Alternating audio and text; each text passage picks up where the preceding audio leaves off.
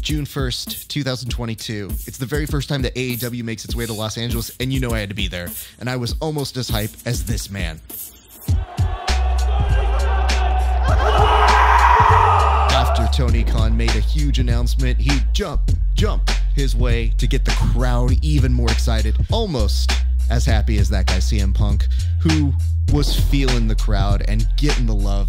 A great rap battle with the acclaimed, and of course CM Punk in his natural element, just looking happy. Even if the moves, yeah, he misses a step here and there. MJF in the pipe bomb to end all pipe bombs. One of the best promos I've seen in the past 10 years. And even more sweet with CM Punk chasing down MJF after a pipe bomb. Magnifique.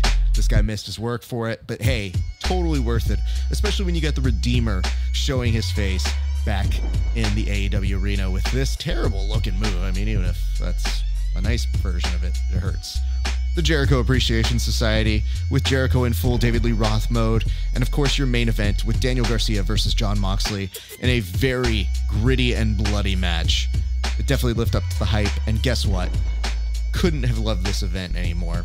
Everything was great, and yes, of course, what event wouldn't be perfect without fans bringing their own championship belts? Although this guy brought a UFC one. Can't wait to do it again.